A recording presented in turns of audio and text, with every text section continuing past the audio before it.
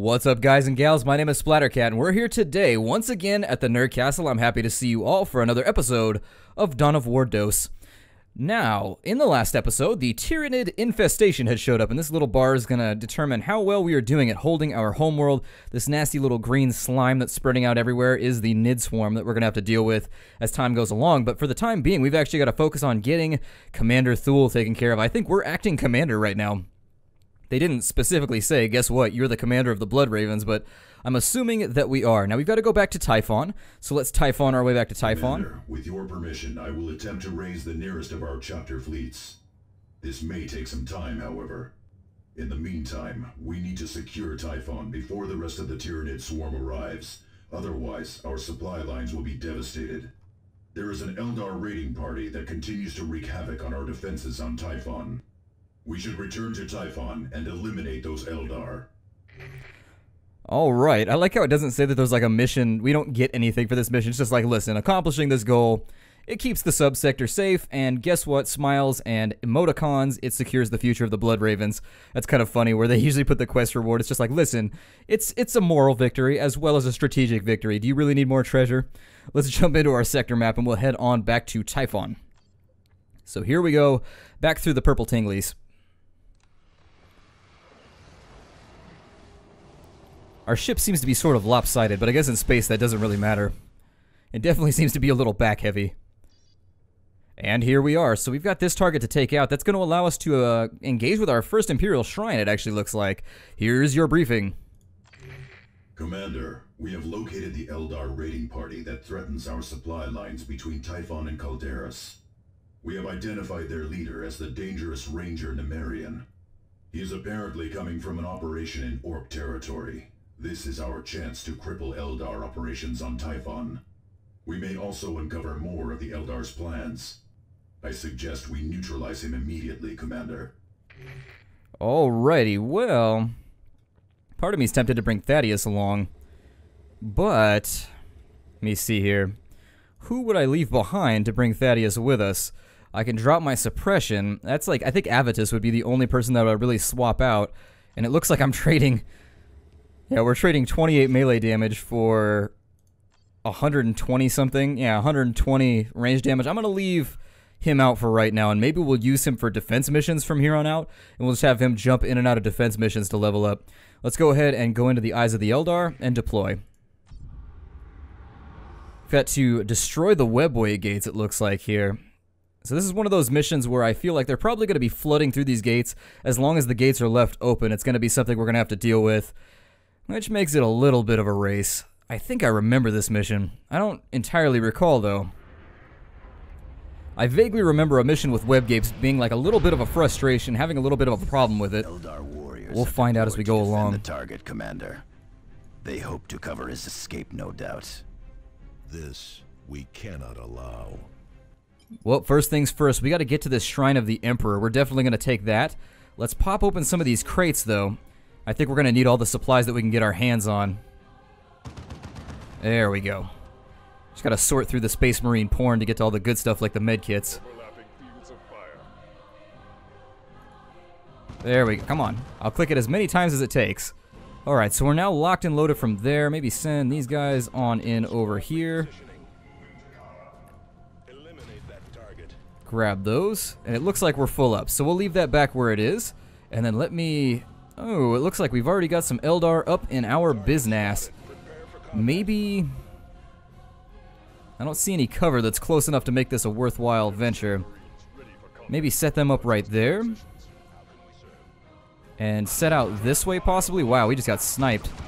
We just got a snippied. Maybe knock them out of cover with the Force Commander. Let me get the scouts into position, too. And off goes the gunfire. Let's see if I can flush them out, possibly. Oh, and we got sniped from the building up there. That's fun. Well, that did draw out the rest of their troops, though, so maybe we'll deal with that. Oop, get out of there. Everybody out.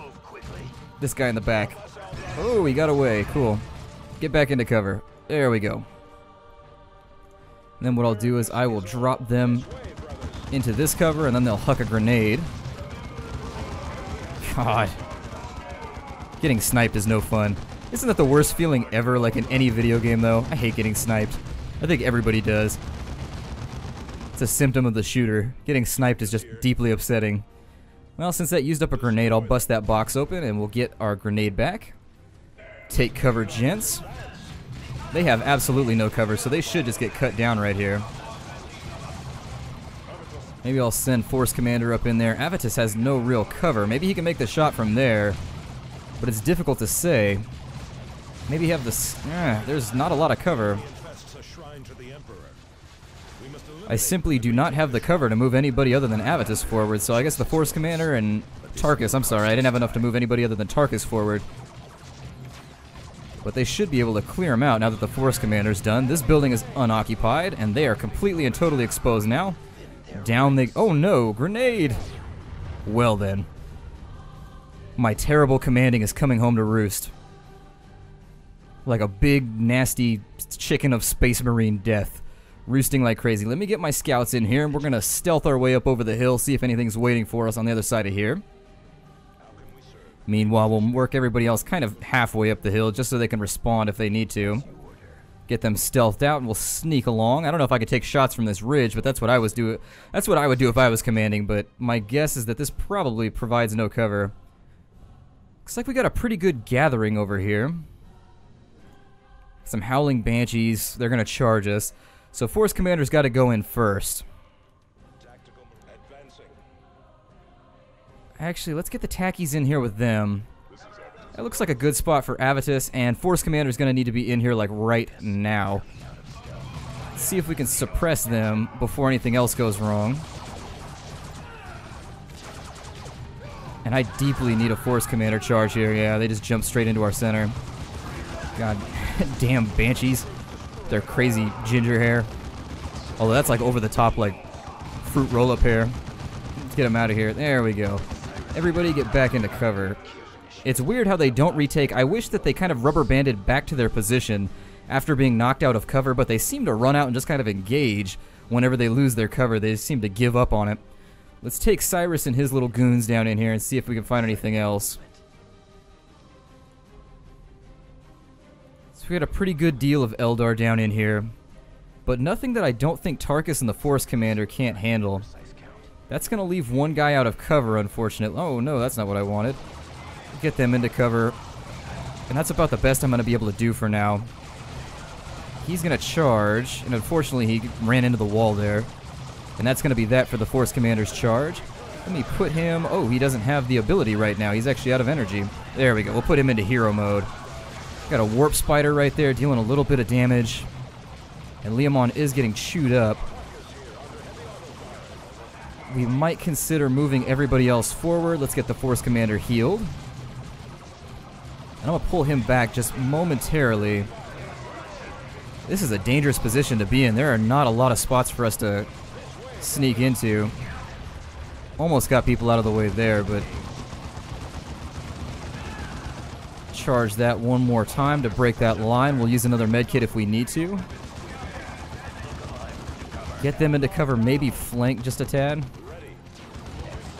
And I would love this position right here, but I just don't think it's going to be available. God, did they just decide to screw me on cover here? This is getting a little ridiculous. The utter lack of cover in this position is just horrible.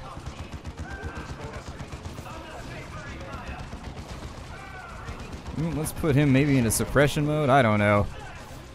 There is just, we're standing out in the middle of the open right now. Luckily, we'll be able to replenish over here. Let me get, now that Tarkus is back in position, there's only a little bit left to deal with. We'll move them forward. We'll be, aggressive here.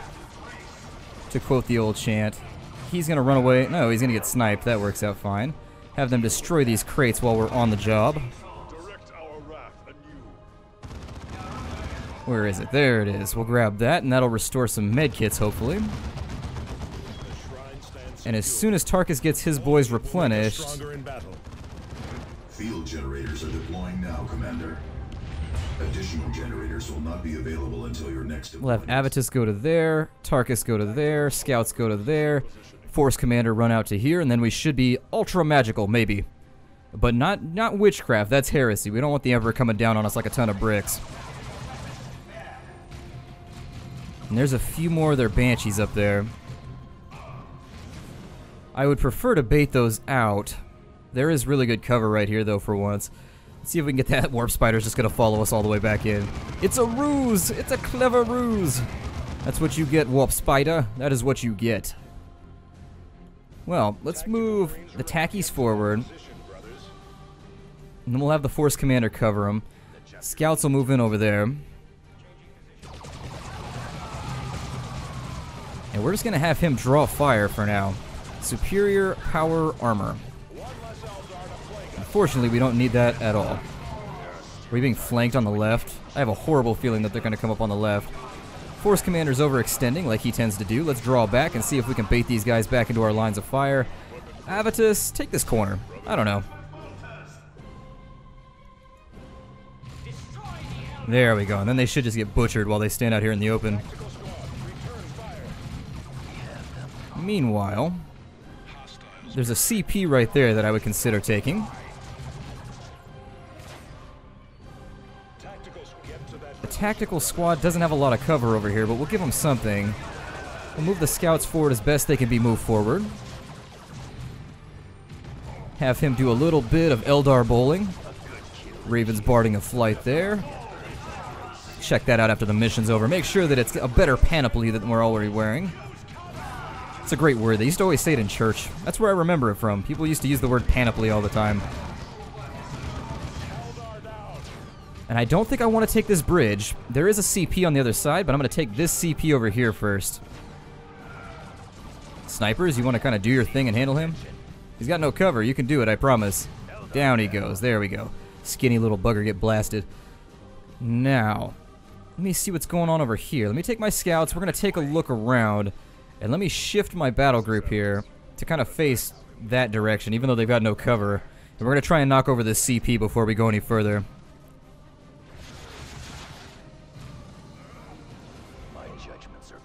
Ah, there it is. Alright, so let me see if I can blow this thing up right now before we go any further. They do have Banshees here. Well. The lack of cover right here is really, really unnerving. Maybe bring... I just don't know. I don't like that either. That's only one little bit of cover. I guess I'll just keep them in a pile right here, and then let's bring the Force Commander out. I could just grenade that, but the second I throw out a demolition charge, they're gonna come down. These guys are gonna try and melee. One step at a time. Ooh, really? Alright, so there goes the first... Maybe? Alright, good. These guys came up behind us, unfortunately. Let's get the Force Commander in there to kind of deal with them. Root them out like a rather nasty and stinky blackened tooth. Or a tooth, as my orcish friends would call it. We'll take that off for now. God, there is... This level is just remarkably awful for cover. Let me get the Force Commander turned around, and we'll have everybody advance behind him. We would also consider possibly putting Avitus up in this location right here. We'll have Tarkus move up right there. And once they're in position right here, we'll bait these Banshees. Oh, they came up behind us over there, too. Well then, brothers. They should engage in a. It's kind of it's gonna be a lengthy little gunfight over here. They do have reasonably decent cover, but we have a lot better ranged attributes, so I think we'll probably be okay. You guys want to get him? There we go. And down goes the health. Maybe. There we go. Let's bait these banshees. Ooh, and there's a nade out. Let's go ahead and move.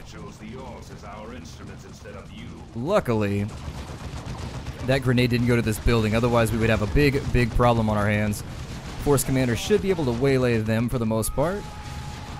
The hell is that, and why is he running at me? Oh, that's Nemerian.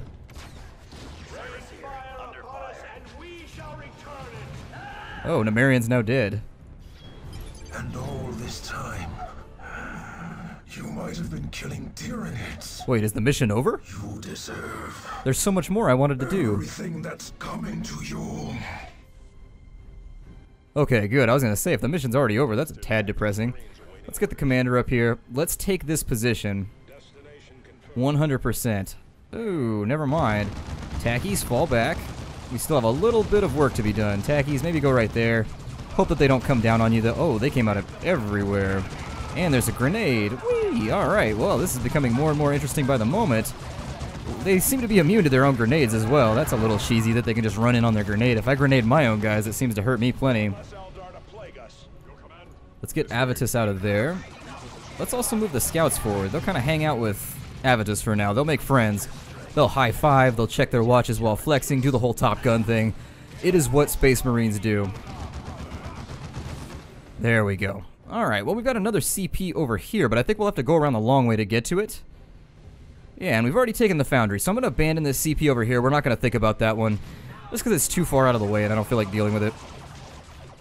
Tactical Marines take that spot right there. And then let's continue our forward movement. Knock them down if we can. And then scouts are going to take their position up here. We're going to kind of have to do this one in a blob. We don't really have a choice. Because there is no cover. We've just got to cross the bridge and hope for the best. Luckily, they don't seem to have fortified it so well. So we'll live with it. I don't see any fortified buildings up here, but we do have something to knock out over on this side with our scouts. Oh, everybody's got to get out of here. Run, fools. There we go. All right, we're good. Yes.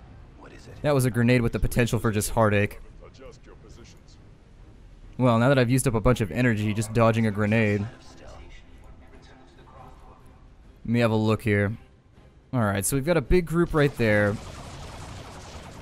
And seeing as we're standing on a bridge with no cover, let me move people over there. Avitus. I'm gonna have Avitus move forward. For we're gonna call in an airstrike on that right there. We are surrounded right now, so we'll want to be careful about that. Let's put an airstrike in right there. Hopefully it'll knock out both of those. We can't guarantee it will, but we can hope. Did it get him? Well, it kind of blew him up. Force commander is over here taking a little bit of fire. Maybe we'll have the yeah. Let's have the scouts secure that side. You gentlemen suppress, suppress like the wind.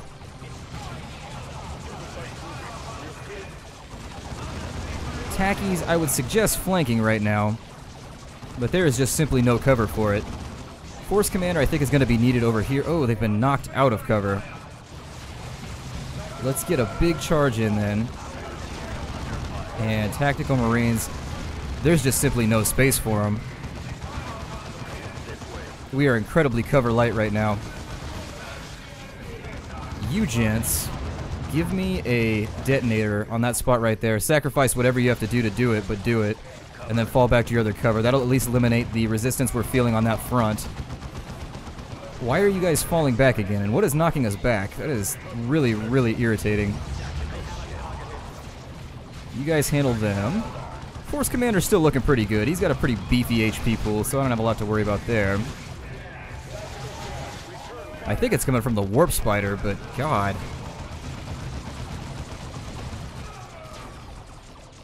That is a pretty... And I don't think this is going to end until I push forward. So let me figure out how I can push forward here. We'll have Force Commander go ahead. He's going to take as much fire as possible. We'll start throwing grenades and things at this bigger gate over here. And then a few more rounds and it should go. There it is. Alright, so we've pushed forward. We've handled that. There we go. I want them right there unless there's enemies over here, and then I'm going to have them retreat like little crybabies. They are just going to flee like a dog in the summer. There we go. There goes another gate. So we've wiped out one out of four webway gates. These guys are still holding down over here the best they can. The nice thing about this is they can throw a detonator up there. And we might also cons- Oh, they actually have a shuriken cannon over there. Alright. Got a carapace of purgation. Cool. I always like scout armor because it's always useful. Let me consider how we're going to get rid of this vehicle. In fact, that's why I brought the melta-bombs along, so I wouldn't have to waste charges on this. It does look like we have a good group of enemies over here. Let's get rid of that shuriken. And down it goes. And then we're going to have them fall back as quickly as possible. They're going to retake their original position. Force Commander's still getting blasted over here. But we're going to send him in now. So in goes the Force Commander. Well, I had planned on taking other CPs, but unfortunately they seem to have stacked all of our objectives right here in front of us. Getting a feel for what this is going to be. Alright, so I know what I want. Avitus, you're going to be up in there. Tarky's boys, I think I'm just going to send them in and we're just going to hope that this works out. Let's go ahead and throw grenades at that gate. God, that warp spider is just being a giant pain in my ass.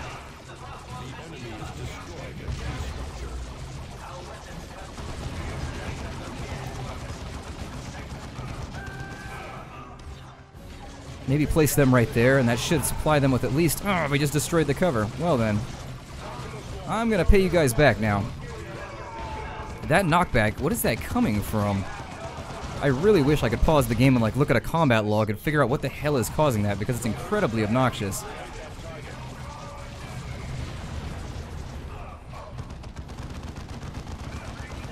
Get rid of that gate. Yeah, there we go. Get these guys back in here.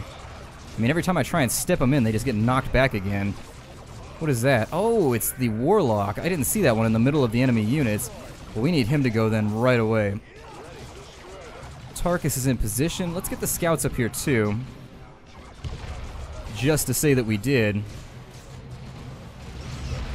And Avitus is going to call in another strike over there. Well, maybe. See if we can... There we go. Please? Well, maybe we can't fire out of a building. This way. Never mind. We need only a word. Be vigilant. Oh, well, there it goes. Now he does it. The Eldar know the Tyranids are coming. That explains their actions among the orcs. What do the Tyranids have to do with Eldar helping orcs? A full-fledged orc uprising could actually slow the Tyranids, Thaddeus. If the Eldar were not doing this on our own recruiting worlds, we could use the situation to our advantage. Using orcs and Eldar to stop an enemy? Why would we waste our time with that? We are Space Marines. We fear nothing because we are fear incarnate. We may be fear incarnate, Avitus, but we face an enemy that knows no fear. We will need every advantage we can get if we want to save the sector.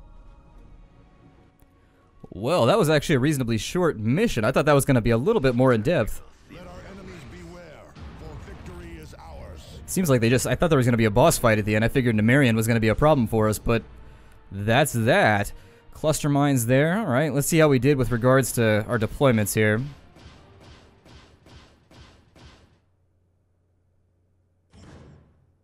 We did take the. We have the one foundry, so yeah, that kind of bumped us up a little bit. At least we got a speed point for once. That's pretty sweet. A little bit of extra XP there. Looks like Cyrus is going to ding on up.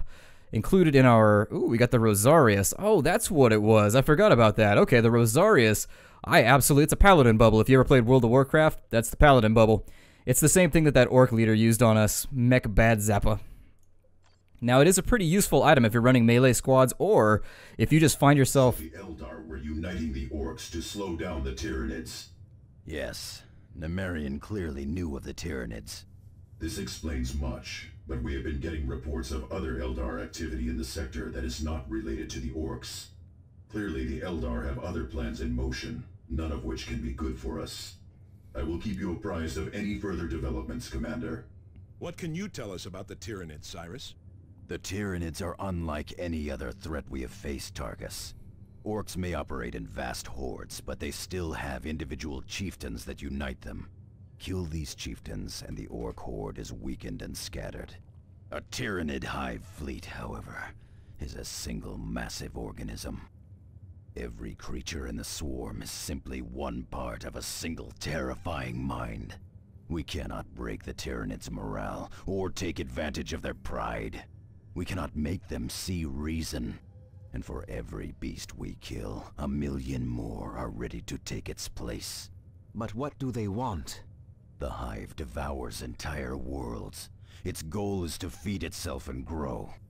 And it will not stop until the entire galaxy is consumed. Commander, the orcs continue to undermine our defenses on Calderis. We need to shore up these defenses if we are to have any hope of stopping the Tyranids.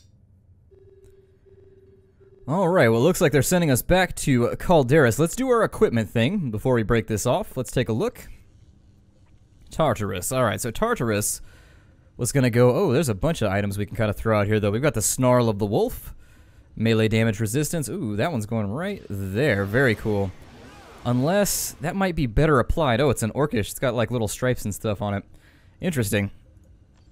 Well, that might be better applied to the commander, though, because he's always in melee. So maybe that's what we'll do. We'll take that one. We'll give it to the force commander. Ooh, put that back right there. No drag and drop here. Oh, it can only be used by Thaddeus. Okay, well then that becomes the best option for Thaddeus.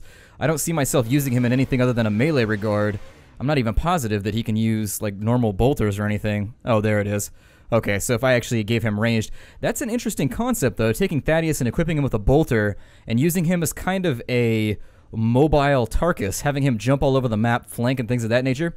Interesting combat mechanic, something to think about. He's using the Mantle of Cronus. Let's instead give him the Merciless Truth.